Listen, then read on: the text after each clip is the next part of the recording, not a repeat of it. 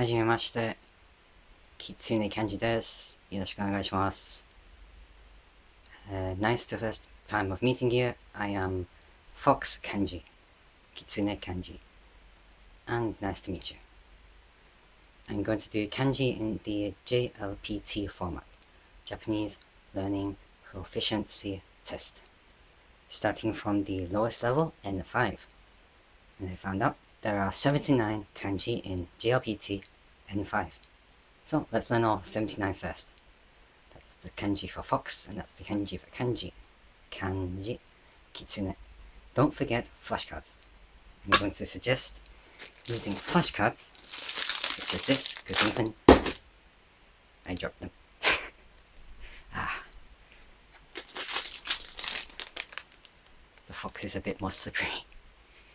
So that's when you do kanji, every time, a flashcard, go through the flashcards, and then the flashcards will grow bigger and bigger and bigger, and as long as you keep going through them and remembering them, maybe five minutes a day, you should be able to remember kanji a lot easier and get used to it.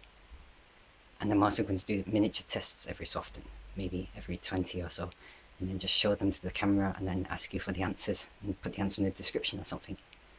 So thank you very much for watching. Let's study kanji. N5, First 79. I was going to do the score way, and then I thought, well, it might be a bit more confusing, and at least if you're studying to do JLPT N5, and then N4, and N3, N2, N1, well, N1 would be really hard. N2 is very fluent, so 5, 4, 3, and 2. Then at least it's in the exact order. This is exactly what you need for N5's kanji. So, otsukare sama.